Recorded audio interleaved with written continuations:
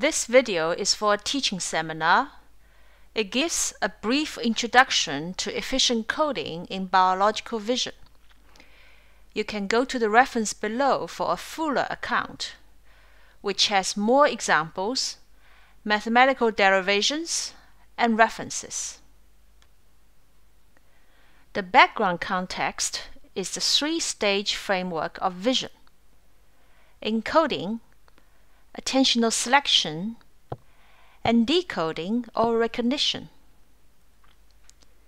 Efficient coding applies to the first stage, so that the transformed or encoded input is more efficiently represented, like data compression.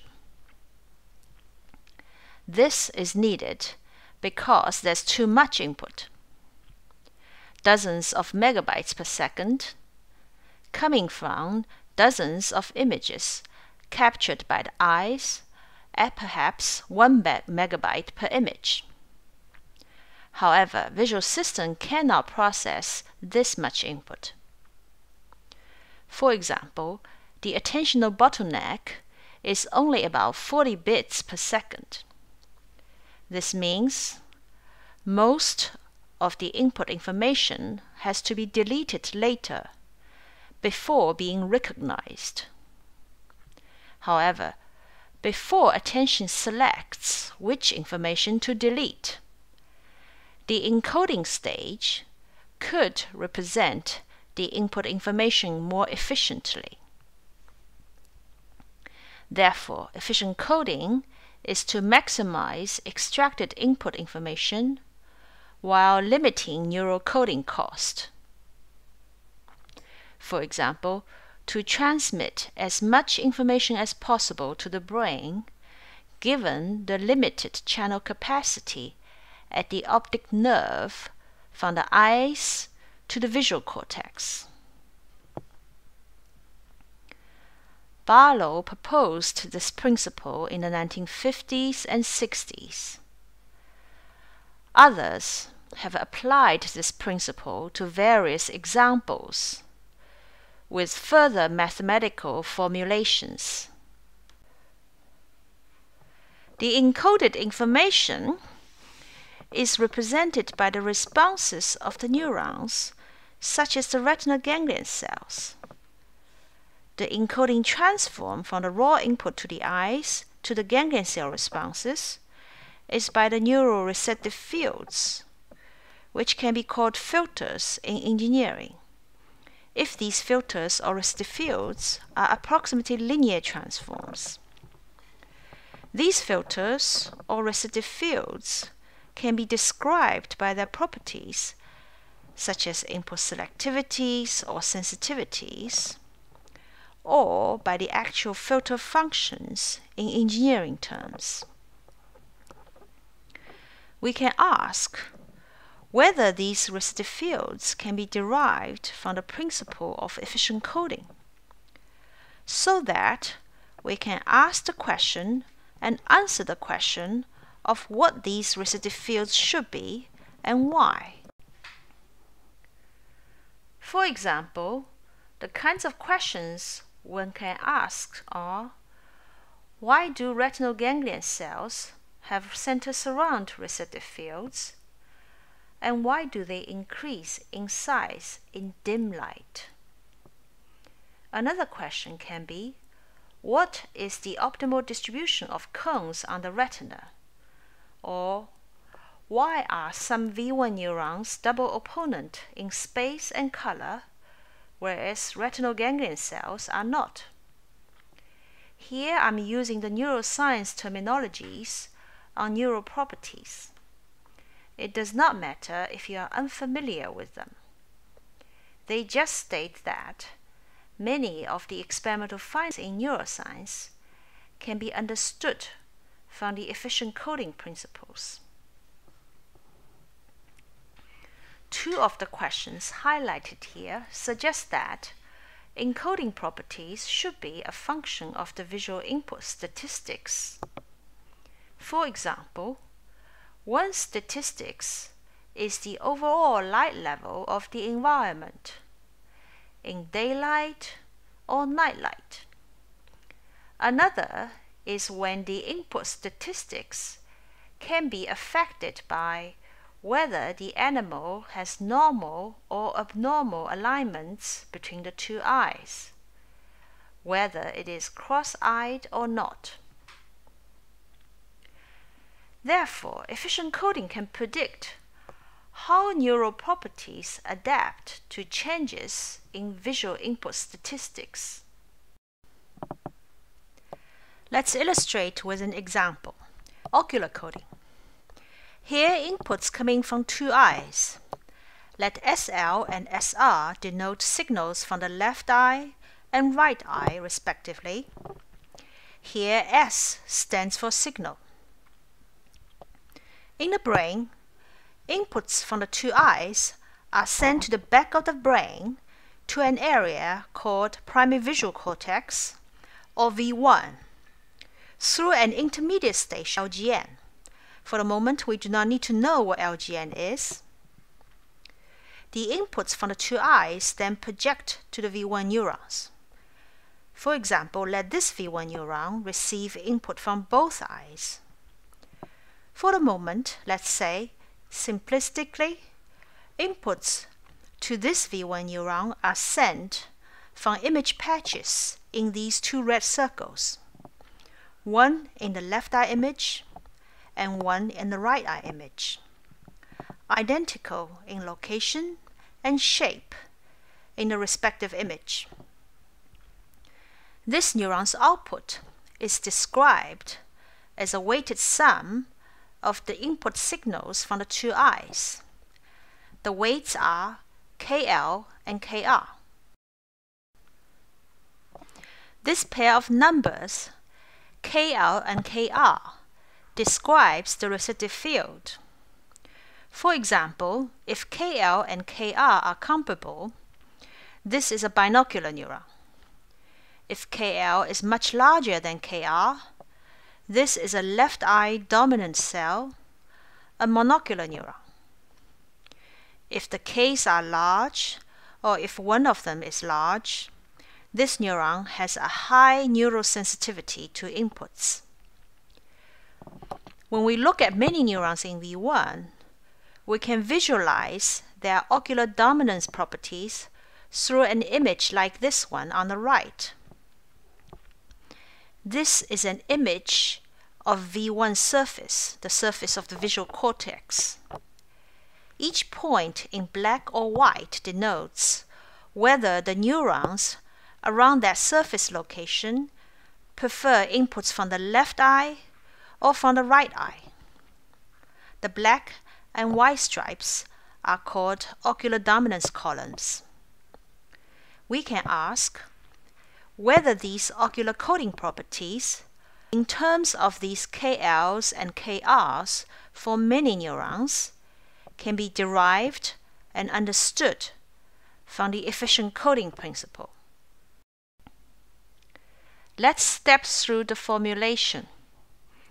Input signals SL and SR are in fact mixed with input noise NL and NR, giving the total inputs as signal plus noise. Let's consider two output V1 neurons, O1 and O2, containing both the signals and noise. The coding transform gives each output O as a weighted sum of the input signals and noise, plus a coding noise NO. For example, this is the result for the first output neuron's response, O1. Its weight for the left eye input is K1L. It is the effective neural connection from left eye input to this neuron. Its weight for the right eye input is K1R, the effective neural connection from the right eye input node to this neuron. The noise in O1 contains the weighted sum of the input noise and contains the coding noise NO1. The coding transform from the two input nodes to the two output nodes is completely described by the four feedforward weights. The four effective neural connections, two to the output neuron 1 and another two to the output neuron 2. This 2 by 2 set of weights can be described by a 2 by 2 matrix K. The amount of information in each neuron, O1 or O2, about the input signals S can be measured by mutual information written as IO1S and IO2S. For example, they could be one byte each. Here, bold fonts denote vectors which have multiple components. For example, vector S has components SL and SR. However, the important quantity is the amount of information about signal S in both neurons. This is the mutual information IOS. Here both O and S are vectors. For example, both neurons together may contain one and a half byte of information about the signal vector S.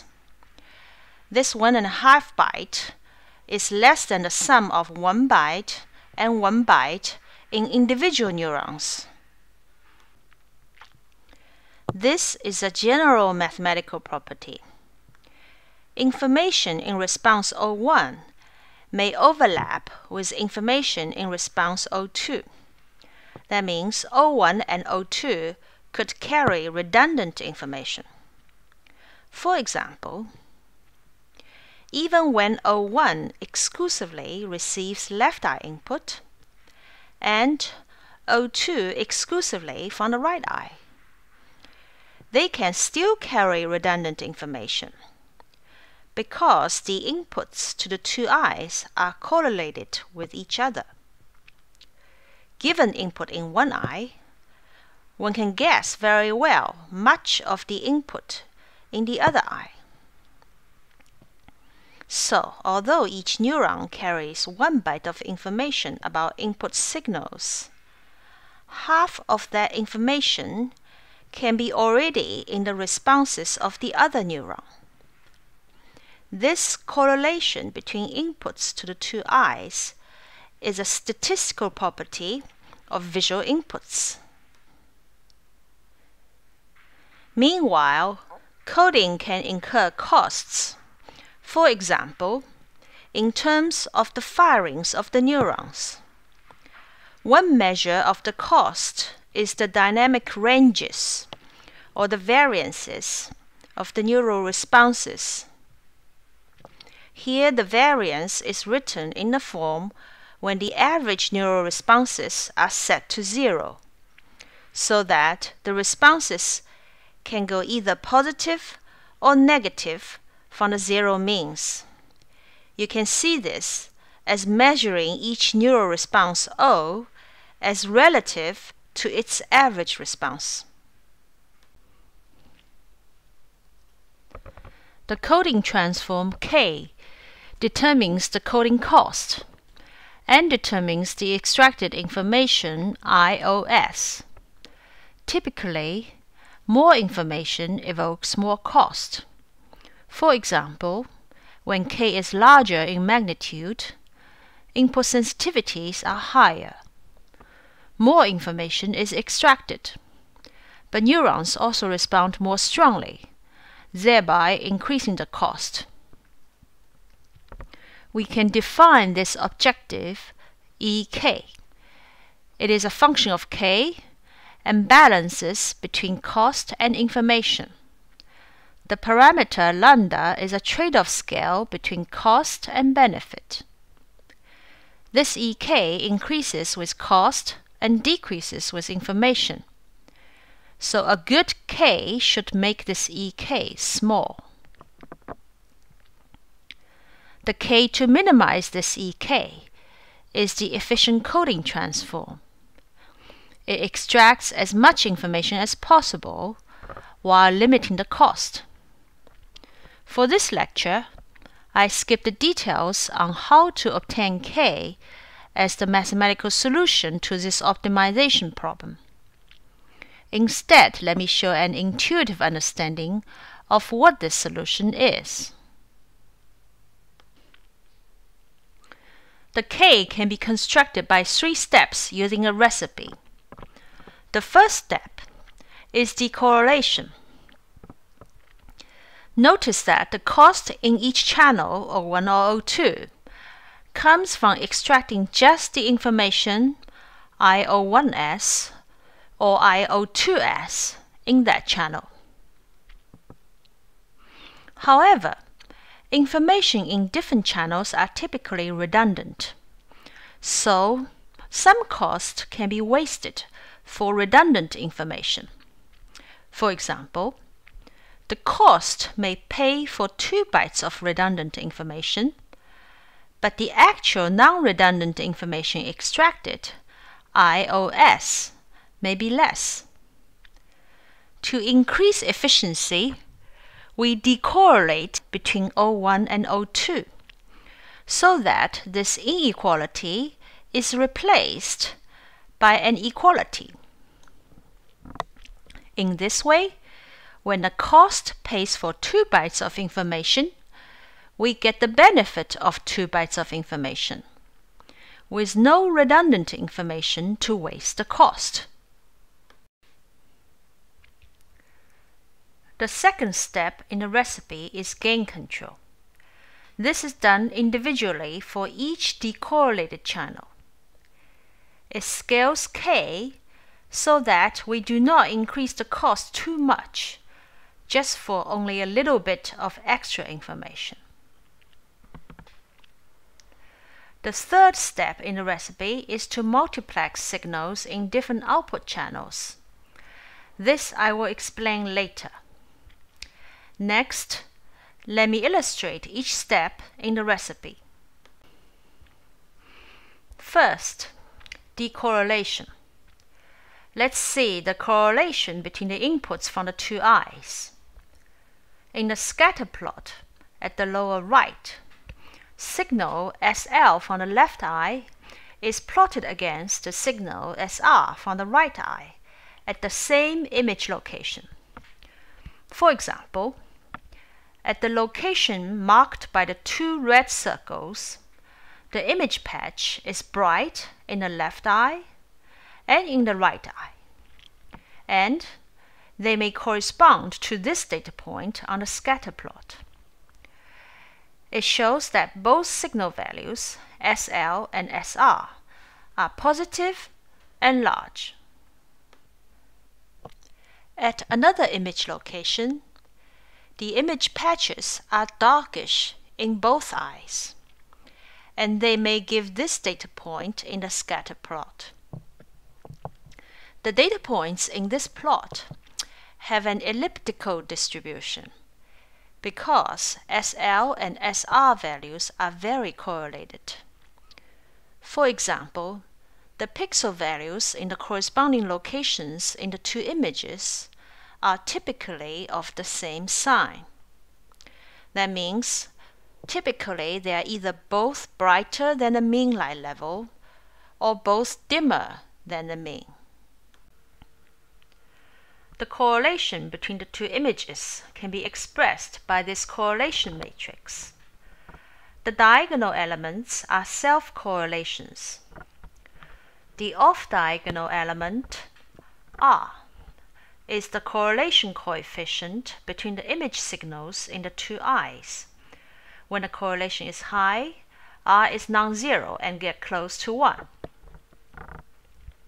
To decorrelate, we need to transform SL and SR to something else. First, add SL and SR together. We get S plus this represents ocular summation. And also, we take the difference between SL and SR to get S minus. This represents ocular opponency. Now these two new channels, one ocular summation and one ocular difference, are decorrelated. This is shown in the correlation matrix below. The off-diagonal elements are zero, meaning no correlation between the summation and difference. In the scatter plot, the summation and difference signals are denoted by the two blue axes. So, the decorrelation transform from SL and SR to S plus and S minus is to rotate the axes by 45 degrees. You can see that the sign of S plus is not correlated with the sign of S minus. For example, if S plus is positive, S minus is equally likely to be positive or negative. S plus has a much larger variance than S minus. This is caused by the binocular correlation. For example, if the two eyes are 100% correlated, the summation signal should be twice as large as the monocular signal. The difference signal should be zero. If a neuron responds like S+, it behaves like a binocular cell. If a second neuron responds like S-, minus, it will be excited by the left eye input and suppressed by the right eye input.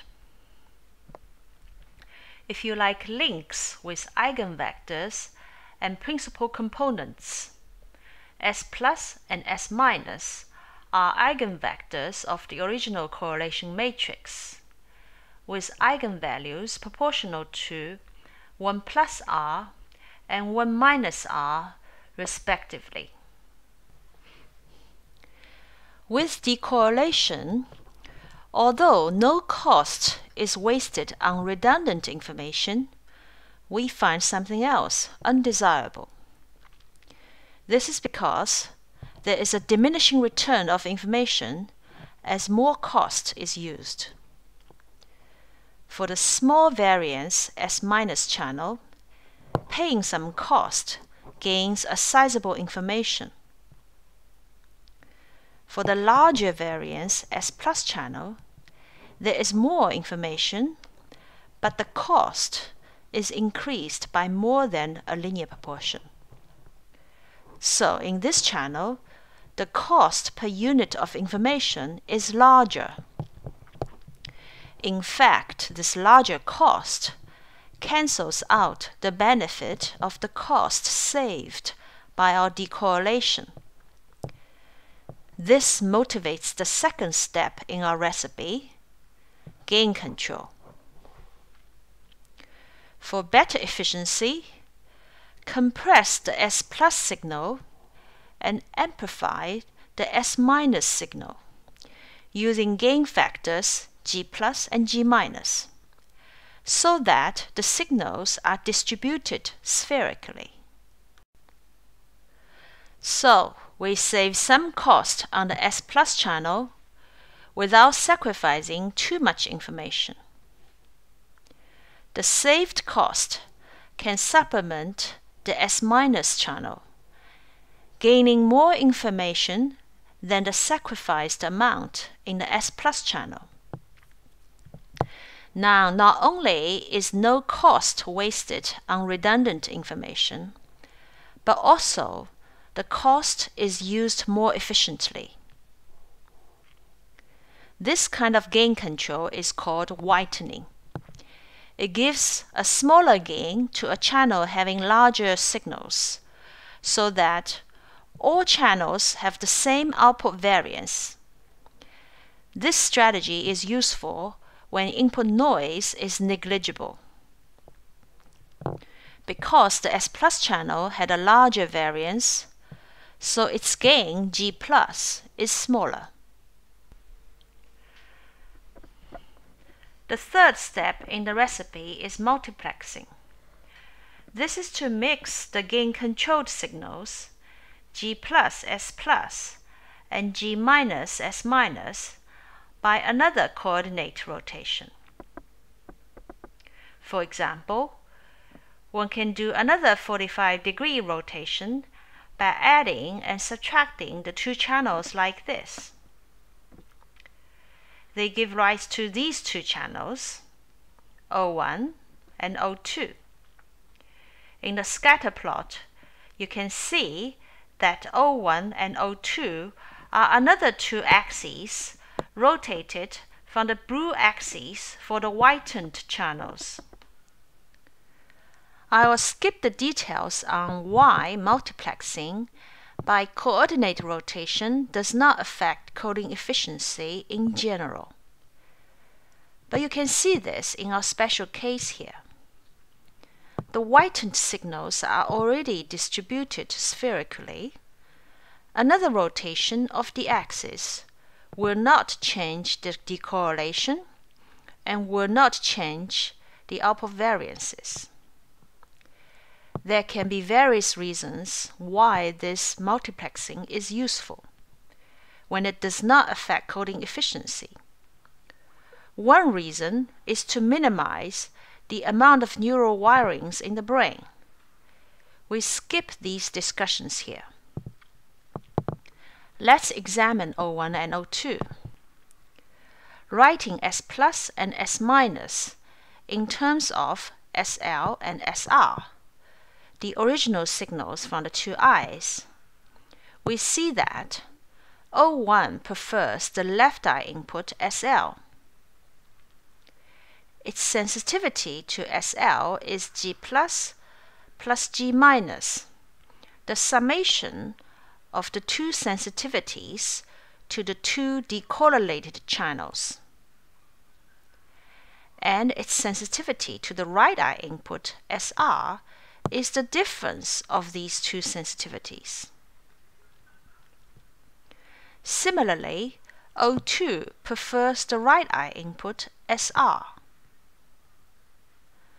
Now we see why the cortex has ocular dominance columns.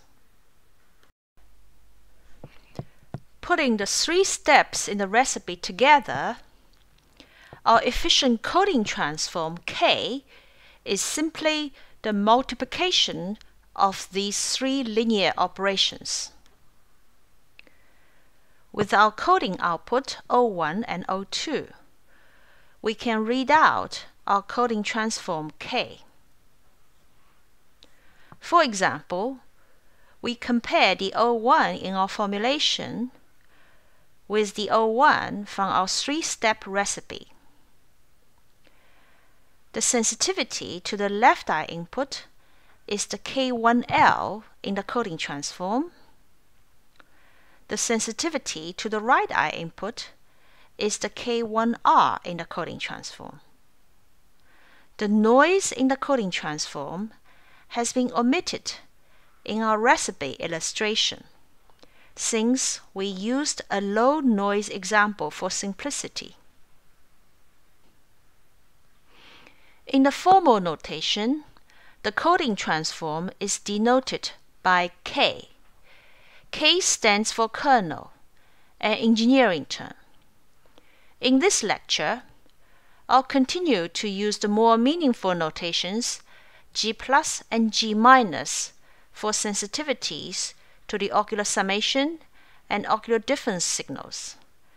Later on, I'll also use notation GL for sensitivity to the left eye input, and GR for the sensitivity to the right eye input. Let's derive a prediction from this efficient coding and show its experimental test. First, for our decorrelation step, we know that ocular correlation R affects the signal variances in the ocular summation and ocular difference channels. Second, from gain control step, the sensitivities G plus and G minus relate inversely to the signal variances. Therefore, correlation R can affect these sensitivities. So, these sensitivities should adapt to the ocular correlation R. For example, increasing R should decrease the ratio G plus over G minus. So if we change to a new visual environment in which ocular correlation is larger than usual, we can decrease this ratio because G plus should decrease and G minus should increase. To test this prediction, we need to do two things. First, we need to expose observers to a new visual environment in which the ocular correlation R is larger than the current environment. We can ask observers to wear 3D goggles and watch binocular inputs on our computer screen.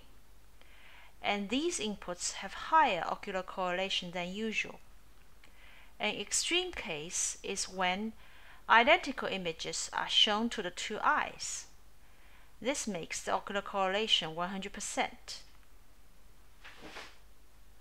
Second, we need a way to measure the ratio G plus over G minus, or measure a change in this ratio. This can be done as follows. Show a flashing grating to the left eye and another flashing grating to the right eye. These gratings are shown here we see that the two gratings differ from each other spatially by 90 degrees and differ temporally also by 90 degrees.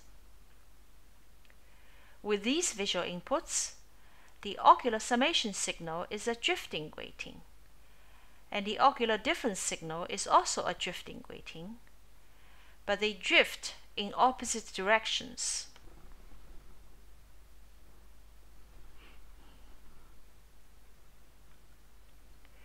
What will the observers see? Drifting down or drifting up? This is an ambiguous perception. For brief drift trials, they may see drifting down in some trials and drifting up in the other trials. The chance of seeing a drift direction should increase or decrease when its input sensitivity increases or decreases. Therefore, adapting to an increased ocular correlation R should reduce the chance of seeing the ocular summation drift. Conversely, adapting to a decreased R should increase this chance. The predictions are experimentally tested. The experiment had an adaptation stage and a testing stage. In adaptation, observers viewed the dichoptic images designed to have a particular ocular correlation R. For example, when the two eyes see identical images, the ocular correlation is 100%. When the two eyes see photonegatives of each other, the correlation is minus 100%, much less than usual. These pairs of images were shown one after another, like in a slideshow. Interestingly, a couple of minutes of such an adaptation was enough to alter the efficient coding in the brain. After adaptation, the observer was tested on drift perception. A brief dichoptic input of our gratings was viewed, and then the observer reported whether the perceived drift was going up or down. Many testing trials were carried out to measure the probability of seeing drifting up versus drifting down. a brief top-up adaptation for about 1 to 2 seconds was given before each testing trial. Indeed, the chance of seeing the ocular summation drift was dramatically altered by such an adaptation, just as predicted. So far, we have assumed that input noise is negligible. In such a case, the gain control is whitening. So the gain for the ocular difference channel S minus is larger because this channel has weaker signals. When the input noise is not negligible, the gain control is no longer whitening. Now the distribution of visual inputs looks like this. The input includes both the signal and the noise. Here is the distribution of the signals alone and the distribution of the noise alone. Together, they make up the distribution of the input. The signals have an elliptical distribution because of the ocular correlation. The noise in the two eyes are not correlated with each other, so the noise has a spherical distribution. Consequently, the shape of the total input distribution is not as elliptical as in the noise-free case. In this example, the ocular difference signal is weaker than the noise in the same dimension. So, if we give a high gain to this ocular difference channel, it transmits mostly noise and at the same time consumes cost by making the neurons respond. Therefore,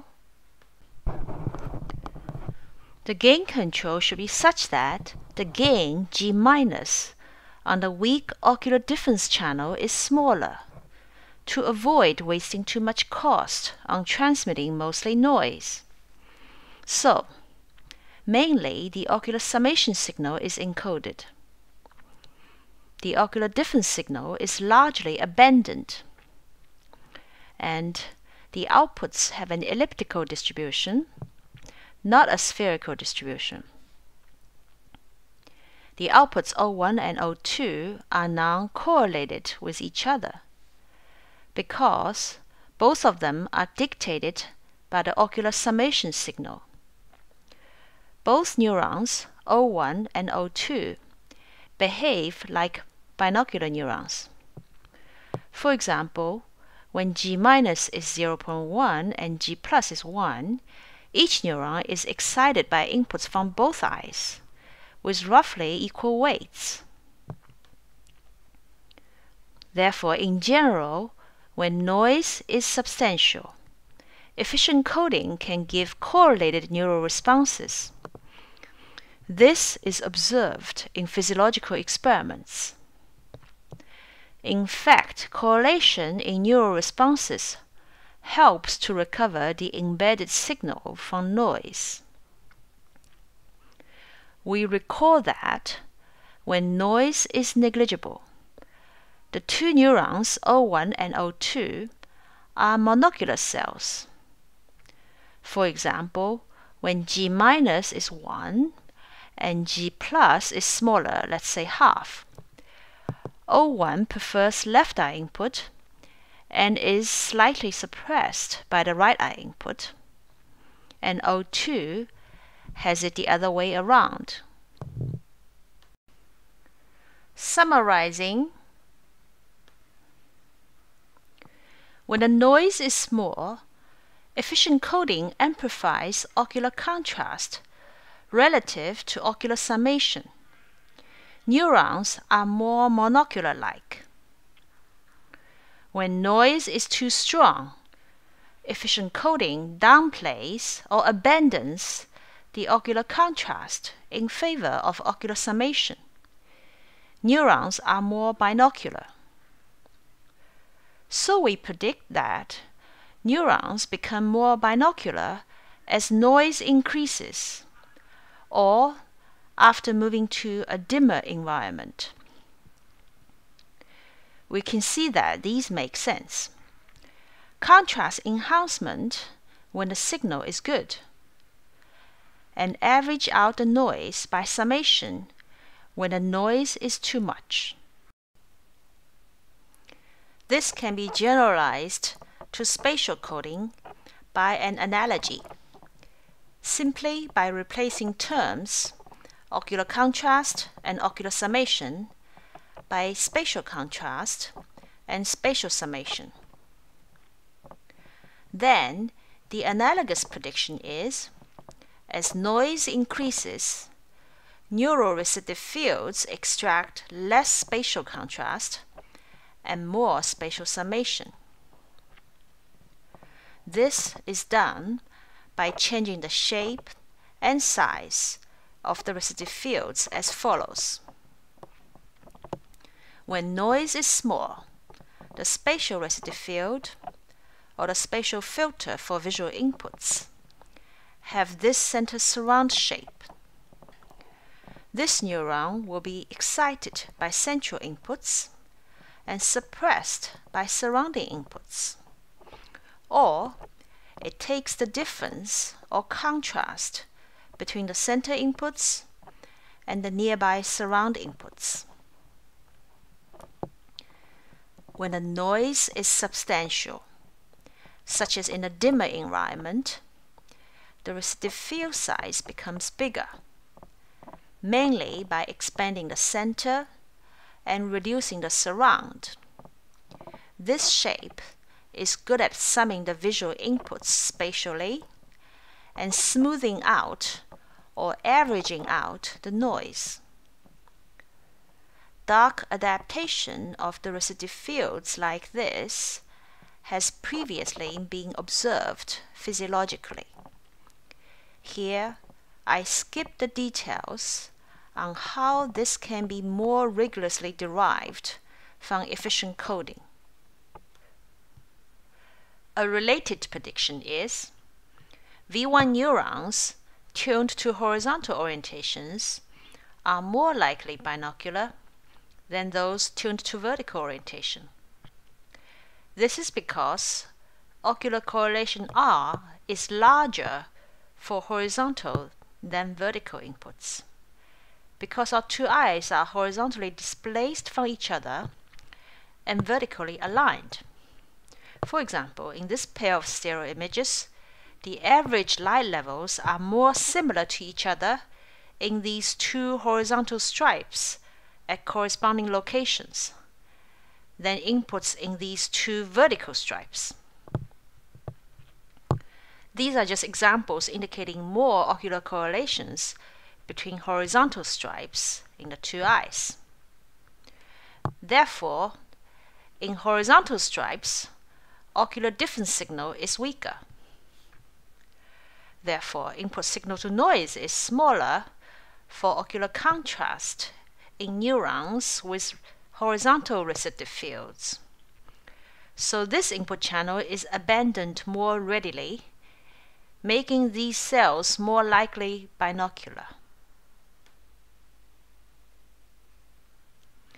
This prediction is consistent with physiological data collected from 136 V1 neurons in cats. The number of V1 neurons for each category of ocular balance, monocular or binocular, is plotted here.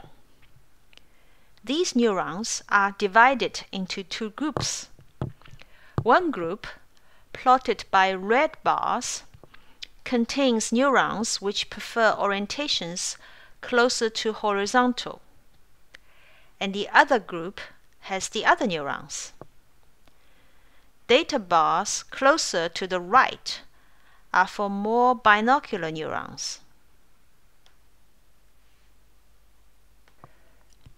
We can extend the ocular coding from mere ocular weights GL and GR for the two eyes to respective receptive fields for the two eyes. For example, for our O1 neuron, including spatial receptive fields leads to this result with spatial variable x. The original weight, G plus, is now a spatial receptive field, G plus x, a function of space x. The original input S plus, the summation signal, is now a spatial image of ocular summation as a function of S. Similarly, we have the receptive field G minus X for the ocular difference image S minus X. For example, the receptive field G plus X in one-dimensional space may look like this. And the field G minus X may look like this. They can have different sensitivities by having different amplitudes and can have different shapes. In this example, the sensitivity for G minus is higher, so ocular contrast is relatively amplified. Now we can also look at the receptive field for the left eye input. This receptive field is built from adding the receptive field for the summation image and that for the difference image. Similarly, the receptive field for the right eye input is built from a difference between the receptive fields for the summation and difference images respectively. Consequently, we have in this red curve the receptive field GLX for the left eye input and in this blue curve the receptive field GRX for the right eye input. These two receptive fields have different shapes. In particular, they have different peak locations, which are the preferred spatial locations in the left and right eye images, respectively. So, the neuron having these receptive fields prefer slightly different locations in the two eyes. This neuron is said to be tuned to a non-zero spatial disparity. The primary visual cortex has various disparity tuned neurons tuned to various disparities, and they are useful for seeing visual objects at different distances or depths. However, in a dimmer environment, or when the signal to noise is lower, G minus X receptive field should be much less sensitive, that means its amplitude is relatively smaller. In such a case, the receptive fields for the two eyes are dictated by the summation receptive field alone. So the two eyes have very similar receptive fields, regardless of the shapes of the receptive fields for the summation and difference images. This neuron is tuned to near zero disparity. This means in dim light, when fewer neurons are tuned to non-zero disparities, it will be more difficult to sense depth. Indeed, our stereo depth acuity is worse in dim environment. In the primary visual cortex, some neurons have larger receptive fields and some neurons have smaller receptive fields. With smaller receptive fields, input signal is also weaker. Therefore, these neurons are also more likely to be tuned to near zero disparity, and they have very similar receptive fields for the two eyes. This is indeed the case physiologically. This lecture is a very brief introduction to efficient coding. Ocular coding is just an example to demonstrate how coding depends on input statistics and how we can understand and predict experimental data from a theoretical principle. Given the time constraint of a single lecture, I omitted many analysis and derivations and instead used just the intuition and analogies in many instances to make various links. As we mentioned, there are many other questions we can ask and answer through efficient coding. And these materials and various other details can be found in this book.